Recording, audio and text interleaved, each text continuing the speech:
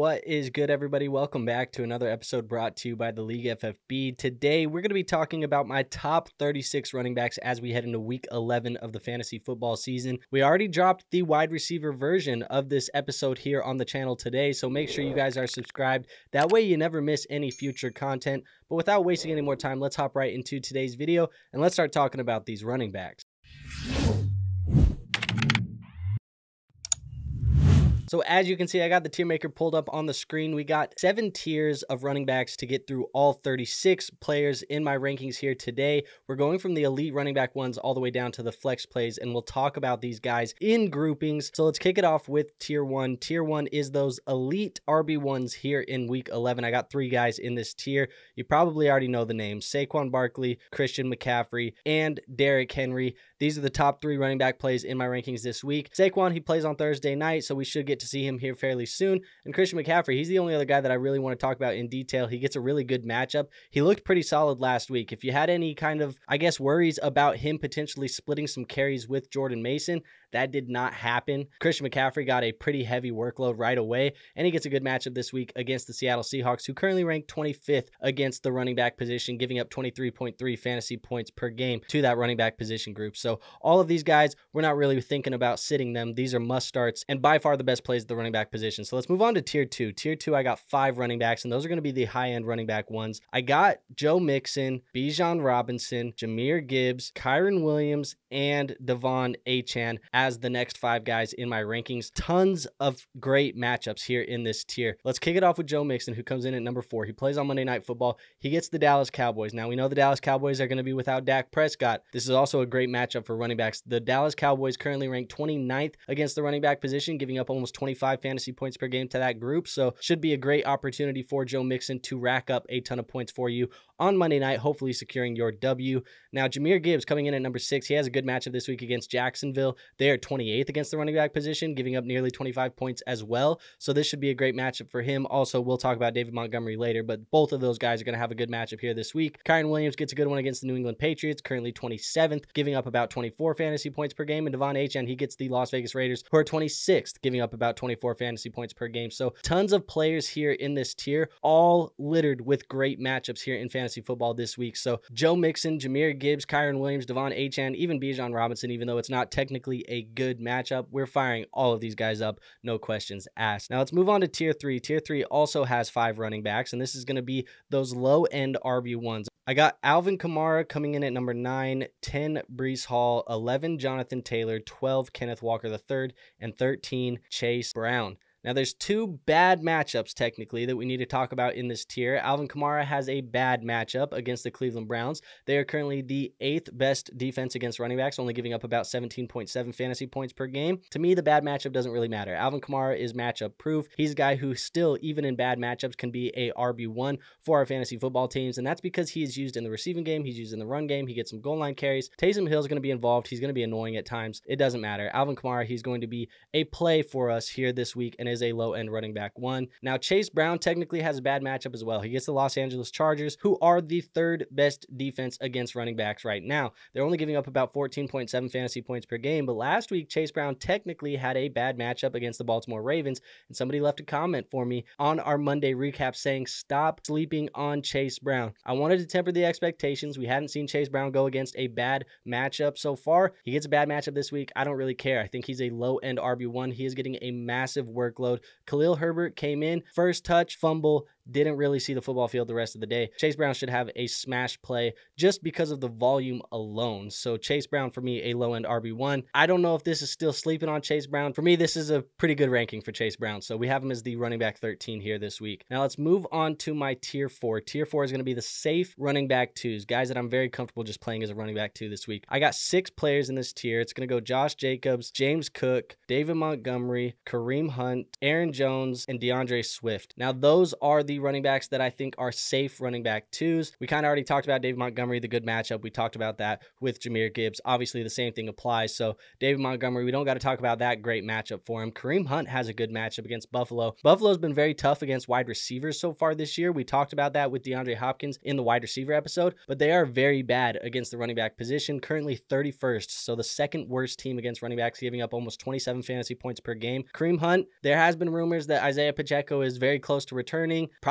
not going to be in the lineup this week. At least that's what Andy Reid said. So I think Kareem Hunt gets the majority of the workload here this week. Probably another smash play for Kareem Hunt before Isaiah Pacheco gets back into the lineup. So keep firing up Kareem Hunt if you have him in your leagues. As far as the bad matchups go, the only person who has a bad matchup in this tier is going to be James Cook. James Cook gets the Kansas City Chiefs. We've talked about them at length this year for running backs. They're the number one defense. They continue to be the number one defense against running backs, only allowing about 12 fantasy points per game. Thing is, James Cook, he gets it done in the air, he gets it done on the ground, he gets some goal line carries. He should do enough to be a safe running back too this week, but I think kind of viewing him as an RB1, which he does have the RB1 upside some weeks. I don't know if he has that this week against a very tough Kansas City Chiefs defense. And then the only other player that we need to talk about is Aaron Jones. Aaron Jones, he is going to be questionable with a rib injury. He is going to be limited in practice this week. We're going to keep an eye on the injury reports. If Aaron Jones plays, he should be fine. We could view him as a safe running back too, but there is a chance that he is limited this week and goes in with the questionable tag and maybe or maybe doesn't play this week. I'm just keeping an eye on that. If he doesn't play,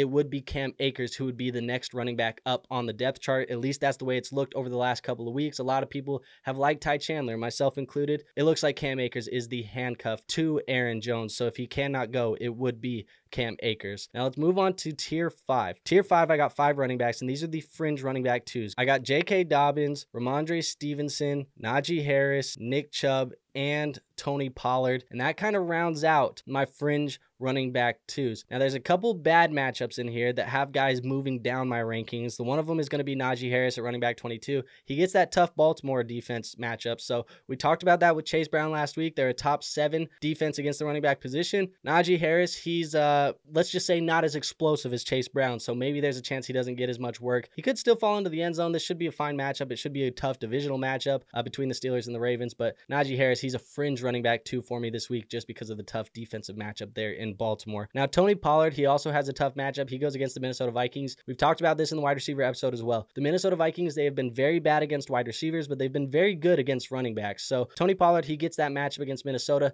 Minnesota is fourth against the running back position, only giving up about 16 fantasy points per game. We'll see what happens with Tony Pollard. He's also a little bit banged up right now. He's not technically on the injury report. He got knocked out of last game and then came back in. We saw more Tyjae Spears than we wanted. I think he's playing through an injury right now, and that's kind of limiting his overall explosiveness and his overall upside. For me, a very fringe running back two option here this week. You see, he's just barely cracking that top 24. Now, another guy in this tier who has a great matchup that we can talk about is Nick Chubb. Nick Chubb goes against the New Orleans Saints. They are currently 30th against running backs this year, so they do have a tendency to give up some points to that running back position, giving up about 25.6 fantasy points per game. Nick Chubb, he's still recovering from that injury. This offense is going to be under Jameis Winston, obviously, so we'll see what happens with Nick Chubb. He's a fringe running back too for me, but the matchup does look positive for him here this week. Now let's move on to tier six. Tier six for me is going to be those low upside RB3s. I got a total of six running backs in this tier and a lot of bad matchups, actually, we'll talk about. Uh, you got Raheem Mostert in here, Rico Dowdle,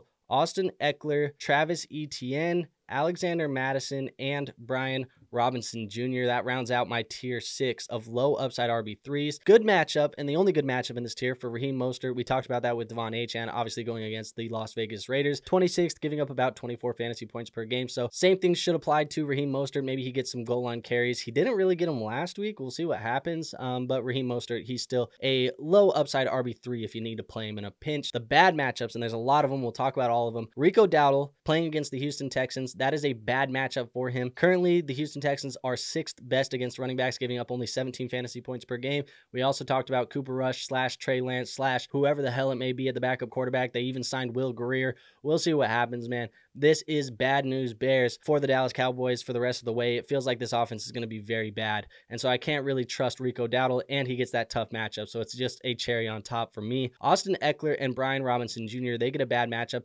against the second best Philadelphia Eagles defense, only giving up about 14.6 fantasy points per game. Now, I got Austin Ekeler ahead of Brian Robinson. They play on the Thursday night game, so we got to wait and kind of see what happens. If Brian Robinson cannot go, who has been dealing with a hamstring injury for the last couple of weeks now, Austin Ekeler would move up closer to that fringe RB2 territory. I think I'd even just move him up into that tier, so he would be right behind Tony Pollard for me. If Brian Robinson can go, I think I'm going to move him above Austin Ekeler in this tier, and then Austin Ekeler would go down into the flex place. So, some things to kind of figure out as we get these injury reports, as we get closer to Thursday night football. It's tough because it's a short week for Brian Robinson, who has been dealing with that injury, but we'll see what happens. Obviously, stay tapped into the Discord, stay tapped into uh, the channel. That way, you see some of the updates as they come in. Now, let's talk about Travis Etienne because he gets a bad matchup this week against the Detroit Lions. The Detroit Lions are a top five defense right now against the running back position, only giving up 17 fantasy points per game.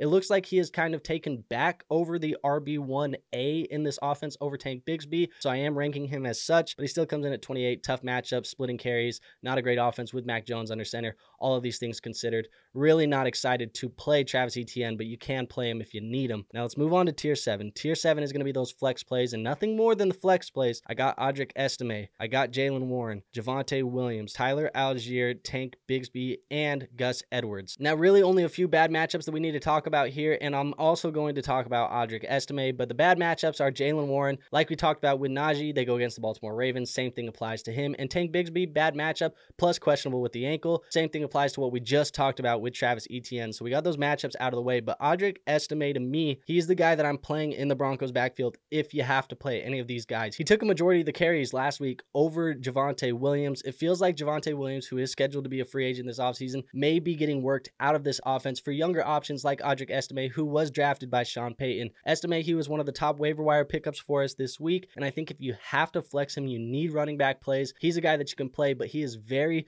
very risky because I would not be surprised if by an odd chance Sean Payton ends up working Javonte Williams and has Jaleel McLaughlin taking carries, has Audric Estime taking carries, and then it becomes a very messy backfield. So a ton of risk with Audric Estime, but I did want to put him above Javonte Williams as the number one running back in this Denver Broncos backfield. And for me, I have to get risky here this week in one of my leagues. I have Chuba Hubbard on bye. Audric Estime, I'm picking him up off the waiver wire and playing him. So you see, I'm putting my money where my mouth is. I'm playing him in a league. It's very risky. I don't feel good about it at all by any means, but it was between Tyler Allgeier and Audric Estime for my plug-in. I'm going Audric Estime, baby. So if you want to play Audric Estime, you can. Just know it's going to be a hell of a ride and it's going to be very risky here this week. So there you have it. That's my top 36 running backs in rankings and tiers as we head into week 11 of the fantasy football season. If you haven't checked out that wide receiver version of the episode, make sure you go check that one out. It did get dropped on the channel earlier today. And while you're over there on the channel, make sure you are subscribed.